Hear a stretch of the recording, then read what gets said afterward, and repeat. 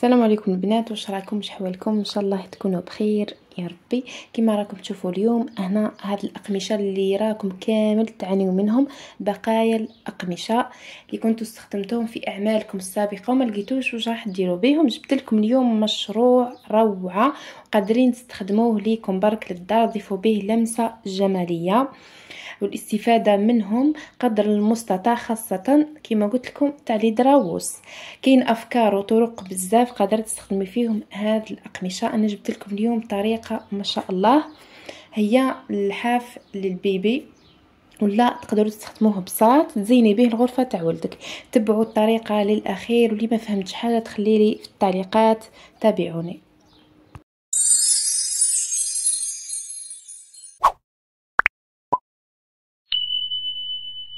هنا نبدأ على بركة الله. بقايا تاع الاقمشه نتاعي حكمتهم حددتهم مليح باش القياسات يجيوني مضبوطين وما يجيوش غالطين. من بعد جبت قطع تاع الكرتون وحطيتهم وقصيت عليهم القياسات اللي نحب.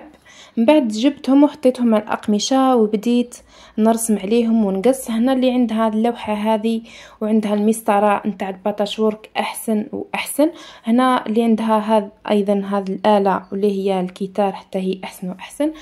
هنا راح نخلي لكم القياسات اللي استخدمتهم. إن شاء الله يكونوا الصور واضحين. واللي ما فهمتش في الصور راح نخلي صورة لهذا القطع نتاع الكرتون اللي فيهم في الجروب الخاص بتطبيقاتكم حرفتي في يدي رزان ديكور. هنا أول حاجة راح نبدأ بالقطعة هذه اللي هي 16 على عشرة ونص. من بعد راح نجيب القطعة هذه نتاع عشرة ونص على أربعة ونص. راح نحطهم على بعضهم وندير لهم خياطة الجنب على بعد حوالي واحد سنتيم أو أقل. من بعد راح نفتح الخياطة نتاعي هنا. نفتحها برك بصبعية هكذا. بعد راح نجيب القطعة واحدة أخرى بنفس اللون الأساسي اللي هو الأزرق اللي فيها ثلاثة ونص على عشرة ونص سنتيم. راح نحطها على القطعة الباج وراح نخيطها بنفس الطريقة. كيف كيف؟ نعاود نحل الخياطة نتاعي بنفس الطريقة. هنا واش راح ندير؟ راح نطوي القطعة نتاعي بهذه الطريقة باش نعين المنتصف نتاعي. راح نعينه برك بالأطراف نتاع أصابعي. نحدده برك هكذا. هاوليكم هنا المنتصف تحدد لي. من بعد راح نجيب المسطرة نتاعي. ونرسم مثلث في النقطة هذيك اللي تحددت لي في السطر هذاك اللي تحدد من ثم نبدأ نرسم حتى للخط نتاع الباج. القطعة الباج هذيك ثم هكذا بالطريقة هذه. هنا بعد ما رسمت المثلث نتاعي راح نجيب القطعة تاع 17 سنتيم على سبعة. راح نحطها في المنتصف نتاع القطعة نتاعي. قد قد وين رسمت المثلث؟ راح نحطها ثم نحطها على الجنب نتاع القطعة وين تراسيت بالقلم ونخيط. خيط خياطة على بعد صفر فاصل خمسة. بالطريقة هذه من بعد راح نحل هذا القطعة ونسويها بصبعي بالطريقة هذه. كيف كيف القطعة الثانية سبعتاش ونص على سبعة راح نحطها بنفس الطريقة على الخط اللي كنت تراسيته. بهذا الطريقة ونعاود نخيط على بعد صفر فاصل خمسة.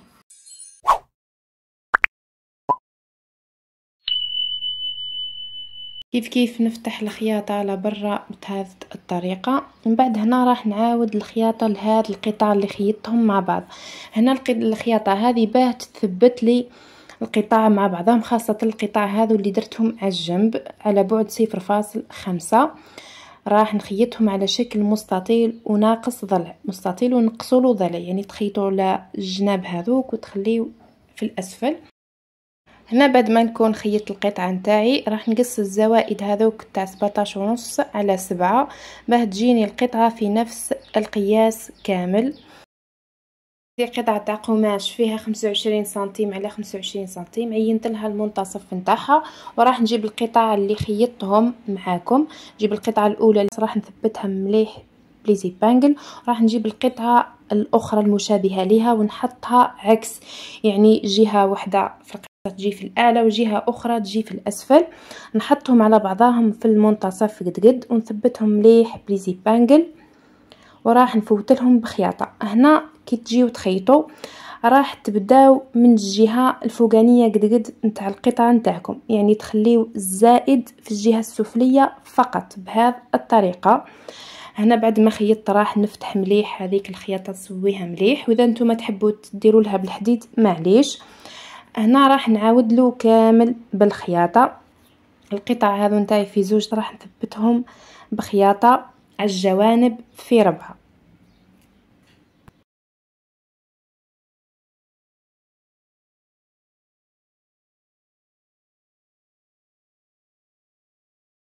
هنا بعد ما تكونوا خيطوا القطع هذو في الجهات في أربعة عندي قطعة هنا شريط فيها سبعة وعشرين على خمسة سنتيم. وانتوما على حساب واش تحبوا الطول. نتوما خليوها برك طويلة. من بعد راح كي تخيطوا راح تنقصوا هذاك الزائد. هنا راح نحطها على القطاع نتاع على الحافة نتاعهم قد قد ونخيط على بعد صفر فاصل خمسة. أول حاجة راح نبدأ في الخياطة الجوانب في زوز. من بعد راح نبدأ في الجهة السفلية بهذه الطريقة اللي موضحة في الصورة.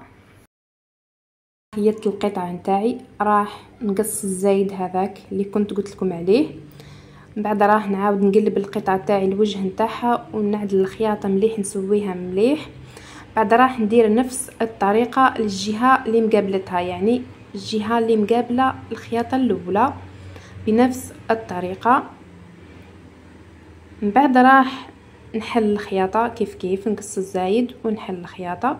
بعد نجي للجهة السفلية بهذه الطريقة كما راهي موضحة هنا. نحط الشريط هذاك على الجهة السفلية نتاع القطعة ونخيط على بعد صفر فاصل خمسة.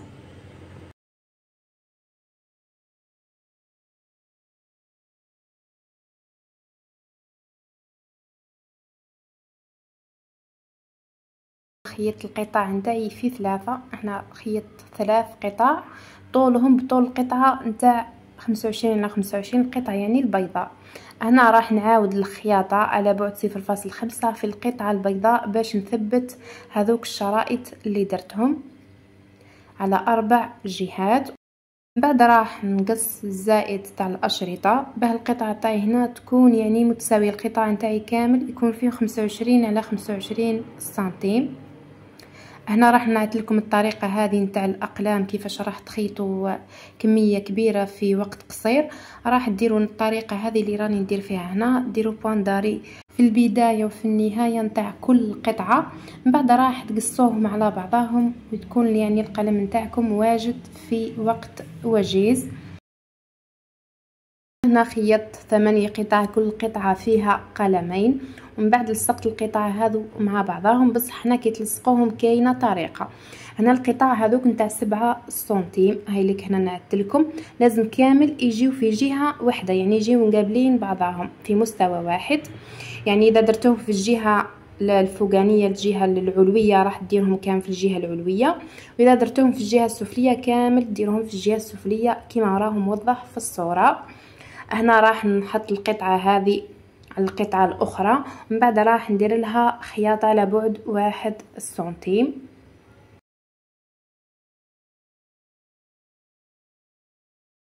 لصقت القطع نتاعي كامل مع بعضاهم.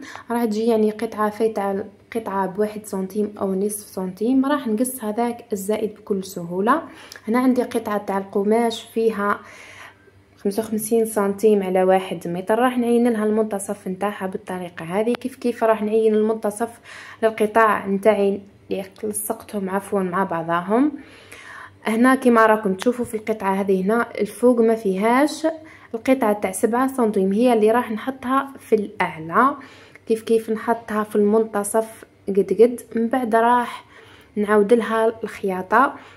في الجهات في أربعة على بعد صفر فاصل خمسة باه نثبتها مليح.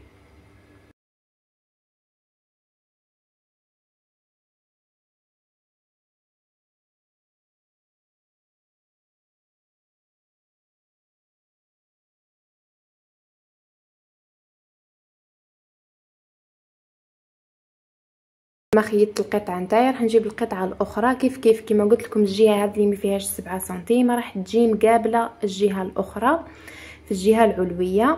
راح نثبتها مليح بليزي بانجل. من بعد راح نلصق القطعة هذه مع القطعة الأخرى في المنتصف قد قد على بعد واحد سنتيم. هنا بعد ما خيطت القطع نتاعي مع بعضاهم راح نحلهم بهذه الطريقة. نسويهم مليح بيدي يا إما بالحدادة. بعد راح نعاود لهم الخياطة في الجهات ثلاثة. باه نثبت مليح الخياطة نتاعي. هنا راح يكون هنا عندي هذا الزائد. راح نحسب أربعة سنتيم. وراح نقص هذاك الزائد.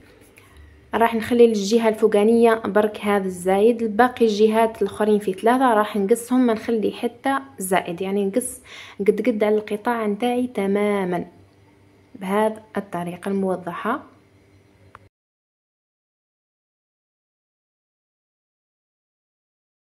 أنا بعد ما قصيت هذاك الزائد في الجهات في ثلاثة وخليت الجهة هذه العلوية اللي ما فيهاش القطعة تاع سبعة سنتيم راح ندير لها القطعة هذه كما درت في القطع الأولى. هنا راح ندير لها خياطة على بعد صفر فاصل خمسة. راح نحط الشريط نتاعي بهذه الطريقة. وندير له خياطة. هنا بعد ما خيطته راح نفتح الخياطة هذه ونسويها مليح. من بعد راح نعاود له خياطة من هنا بالطريقة هذه. هنا بعد ما خيطته راح نقص هذاك الزائد. أنا نقصيت أربع قطع ولا أربع شرائط فيهم خمسة سنتيم وطولهم بطول السجادة ولا قادرين ديروهم طوال ومن بعد راح تقصوا هذاك الفائض. راح نحطهم على الوجه الخلفي نتاع السجادة تاعي على الجوانب قد قد.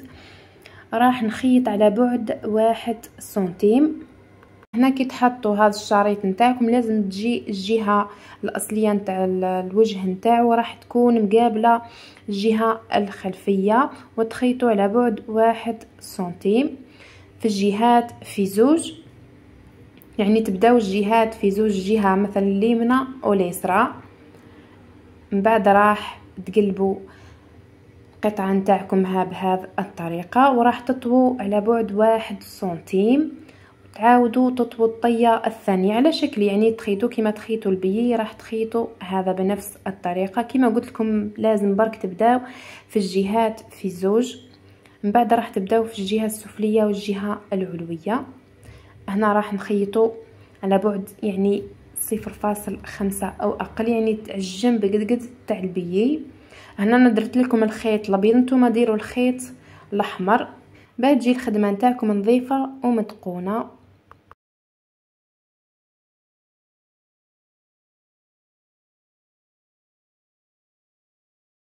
الجهة السفلية ولا العلوية. راح نجيب القطعة نتاعي كيف كيف. راح نحطها بالطريقة هذه وراح يكون زايد فائض يعني خارج على البساط بثلاثة سنتيم. هاوليكم الزايد هذاك. راح نطويه للداخل بهذه الطريقة يعني يكون مقابل الوجه الأصلي تاع البساط نتاعي. بعد راح نثبته مليح ب les épingles.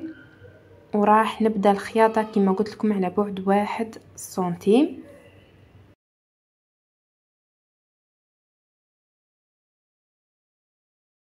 هنا في النهاية نتاع الشريط راح ندير نفس الطريقة ندير خلي ثلاثة سنتيم وراح نقص الشريط نتاعي وراح نطويها للداخل ونكمل الخياطة نتاعي.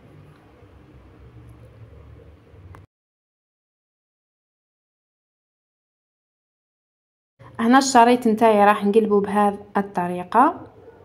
يعني تقلب بسهولة وراح نطوي واحد سنتيم وراح ندير الطية نتاعي. كاينة الطية هذه اللي تجي على شكل مربع في الحافة وكاينة طية واحدة أخرى اللي تجي على شكل مثلث. أنا هنا درت لكم الطريقة هذه وراح نزيد نعت لكم طريقة واحدة أخرى. هاي لكم طريقة نتاع المثلث راح تطوي مثلث بالطريقة هذه. بعد تزيدوا تطوي واحد سنتيم للداخل بعد تزيدوا ديروا الطية واحدة أخرى. اللي هي الطية الثالثة وراح تحكموا بزيبانج مليح وتعاودوا الخياطة للجهات في زوج نتاعكم. العلويه والجهة السفلية. من بعد راح نحددوا مليح وتشوفوه في الشكل النهائي نتاعو. النتيجة النهائية للبساط نتاعي ولا السجاد ولا قادرين حتى تستعملوه ديروه تعودوا ديروا فيه لاواط وديروه كوات. هنا بالنسبة للألوان كما قلت لكم قادرين تستغناو على الألوان هذو اللي درتهم هنا وديروهم سامبل من بعد تفهموا علاش قلت لكم ثاني قادرين ديروا الألوان تاعكم سامبل هنا الحجم كيف كيف قادرين ديروا أكثر من ثمانية قطع وكل قطعة قادرين ديروا فيها ثلاث أقلام. الجهة الخلفية كما قلت لكم أنا عندي القماش هذا متوفر خدمت به برك. وأنتم لكم الاختيار. هنا ثاني خدمت معاه قطع مربعات على شكل مربعات وحطيت داخلهم لاوات خيطت عليهم لاوات الطريقة هذه مليحة بزاف للولاد خاصة اللي راح يتعلموا الألوان. هنا يعني هذا قادرين ديروه الاولاد تاعكم يتعلموا فيه وفي نفس الوقت يديروه بساط للعب. هاك سيراج حطها في مكانها. لا أحسنت. حطها في مكانها. حطها في مكانها. أحسنت. احمر زيد هذه. ودي. لا. لا. ودي. لا. شوف مليح الشكل.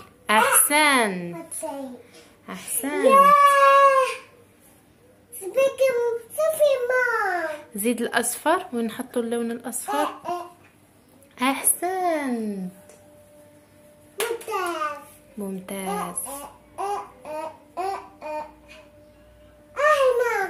نحوسها. احسنت جيد. البنات هذه الطريقة أنا خدمت هذه الأشكال كما راكم تشوفوهم ليكم هاهم ودرتهم على البساط هذا. نتوما قادرين ديروا الألوان اللي تحبوا. سامبل. باه يفهم الطفل خير وخير. وهنا ثاني هذه الأشكال. يفهم اللون ويزيد يفهم الشكل.